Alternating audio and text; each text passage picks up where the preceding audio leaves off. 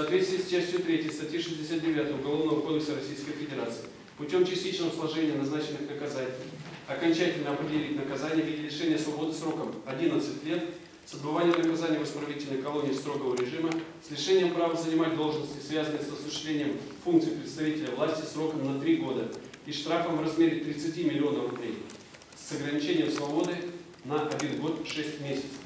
В соответствии со статьей 53 установить следующие ограничения.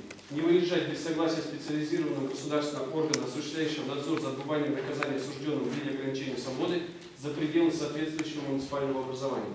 Не изменять место жительства или постоянного пребывания без согласия специализированного государственного органа, осуществляющего надзор за отбыванием наказания осужденного в виде ограничения.